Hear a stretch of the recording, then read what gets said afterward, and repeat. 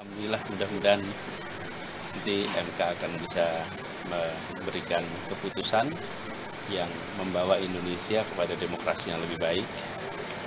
Kami yakin para hakim akan bisa mandiri, akan bisa memiliki keberanian, memiliki keteguhan untuk menjunjung tinggi eh, prinsip konstitusi dan prinsip demokrasi. Inilah persimpangan jalan dan saya rasa pesan dari Ibu Mega sebagai salah satu orang yang ikut di dalam proses demokratisasi sejak tahun 90-an.